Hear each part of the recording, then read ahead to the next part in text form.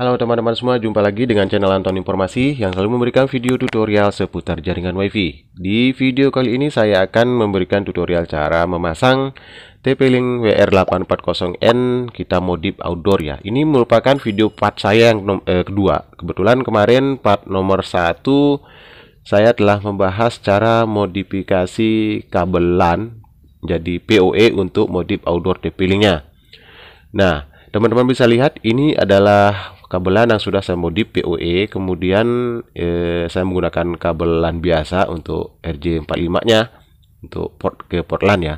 Untuk video cara modif kabel menjadi PoE teman-teman bisa lihat videonya yang ini. Link video ada di deskripsi video. Oke, di sini kalau kita ingin modif TP-Link TLWR 840N atau tenda N301 kita memerlukan box ya. Atau ini box plastik ini bekas uh, can minyak goreng ya sebab TP-Link WR480N ini memiliki bodi yang lumayan gede juga sehingga kalau eh, box biasa itu mungkin nggak muat. Tapi ini saya menggunakan eh, bekas minyak goreng. Ini juga tiang sudah saya siapkan untuk di eh, luar ruangan. Kebetulan ini tiangnya cuma berapa meter aja ya. Mungkin teman-teman bisa sesuaikan nanti ya teman-teman ya. Sesuaikan keadaan lokasi atau juga tinggi tiang berapa meter yang diperlukan untuk memasang di uh, luar ruangan. Oke, di sini kita juga membutuhkan kabel T ya untuk mengikat boxnya di tiang dan juga untuk mengikat routernya di dalam boxnya itu nanti ya supaya nggak jatuh. Oke, kita langsung mengikat ini dulu ya, ya mengikat uh, boxnya dulu ya. Oke, kita ikat perlahan-lahan supaya nggak boxnya nggak jatuh sekaligus routernya nanti nggak jatuh ya teman-teman. Dan ini sudah selesai saya ikat ya e, boxnya di tiangnya di tiang penyangganya. Kemudian sekarang saya akan masukkan TP-Link TLR 840N ini mengarahnya ke sini ya nanti antena TP-Linknya itu mengarah ke bawah. Karena apa? Mengarah ke bawah karena sinyal WiFi itu bukan di menyebar dari atas ke bawah ya ah, dari kiri ke lurus ya. Tapi ini biasa sinyal WiFi itu menyebar dari eh, antena itu menyebar ke bawah lebih condong ke bawah. Sebelum kita pasang kita pasang dulu kabelan. Ini kabelan saya tancapkan di port LAN 1 TP-nya kemudian jack adaptor. Langsung saya hidupkan aja seperti ini. Nah, ini nanti kabel kita ikat di tiang supaya nggak kemasukan air. Maklum, saya menggunakan sambungan biasa atau isolasi ya. Nah, setelah itu saya akan mengikat di antena TP-Link ini ya. Nih, ini sudah saya ikat ya teman-teman. Sekarang kita lanjutkan untuk merapikan kabel sambungan kabelan yang dengan juga jack adaptornya ya. Oke, kita bungkus saja, kita masukkan ke dalam. Kita mau mengikatnya menggunakan kabel T juga ya. Nah, ini kita ikat dulu, kita rapikan ya, supaya nanti sambungan itu nggak kemasukan air waktu hujan.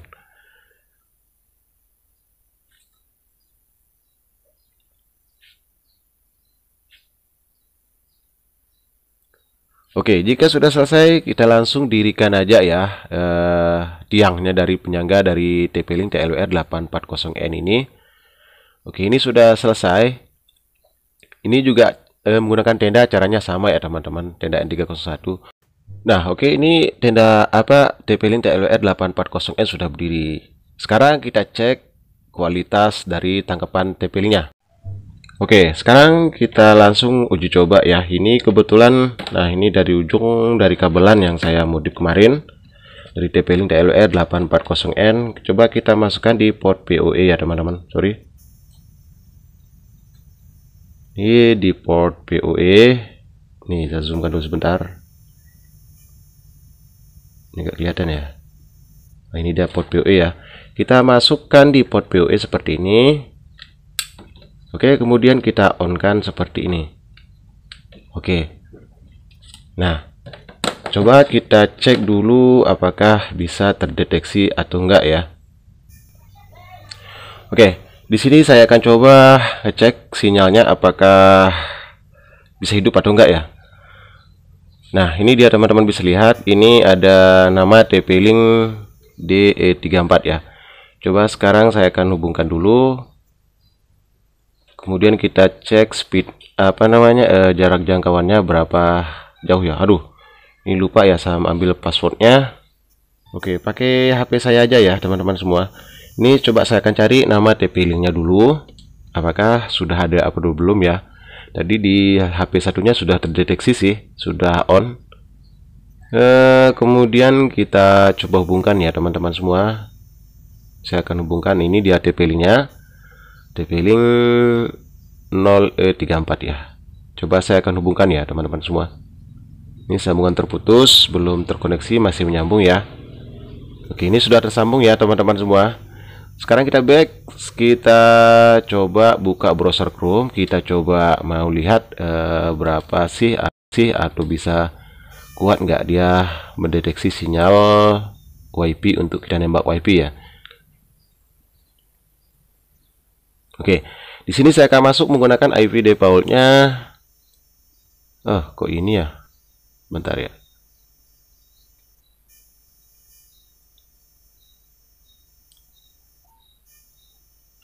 Oke, saya akan masuk 192 titik 168 titik 0 titik 1. Kemudian saya akan coba login. Oke. Ini saya sudah login ya, teman-teman. Coba sekarang saya akan masuk uh, menggunakan defaultnya ya. Admin.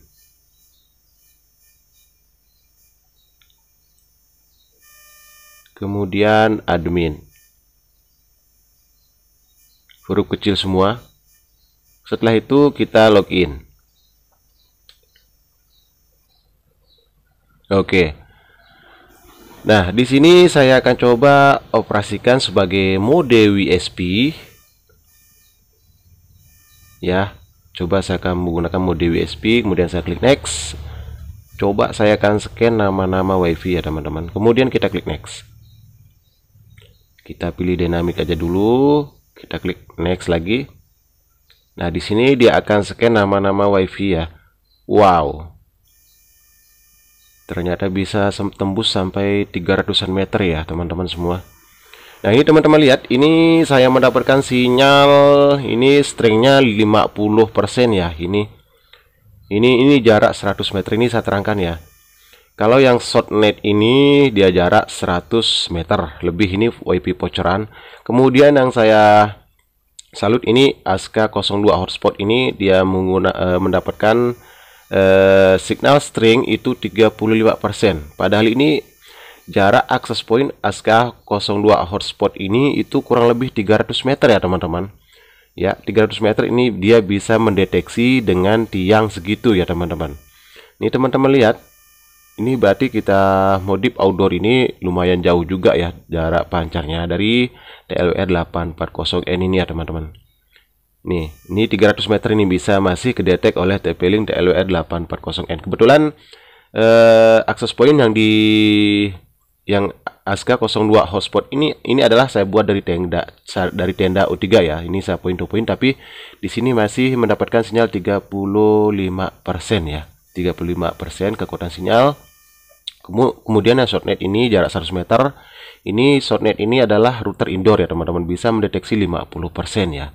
Kemudian Aska hotspot ini uh, memiliki 35% untuk uh, signal stringnya berarti ini lumayan bagus juga ya teman-teman bisa dibilang sangat bagus ya bisa mendeteksi segini kuatnya sinyal dari TLR 840N yang sudah kita modif outdoor nah kalau kita ingin menjadikan akses point misalnya itu kita cuma membutuhkan kabel LAN. Nah, di sini kan kita nembak WiFi eh, jarak jauh menggunakan TP-Link outdoor ya.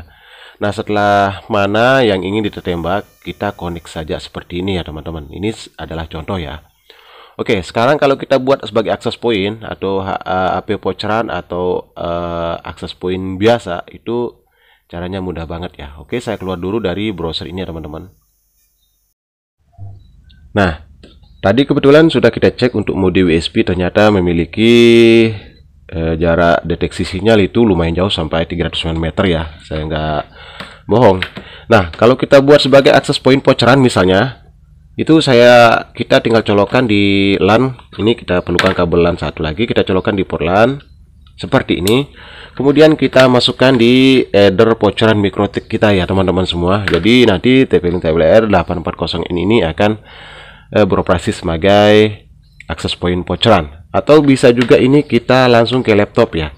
Ini kita langsung ke laptop jadinya PoE seperti ini jadi bisa difungsikan untuk eh, outdoor dan juga bisa kita hubungkan ke laptop oke mungkin sampai di sini saja eh, video tutorial sekali ini semoga bermanfaat. Jika ada pertanyaan silahkan tinggalkan di kolom komentar. Sampai jumpa dan dadah.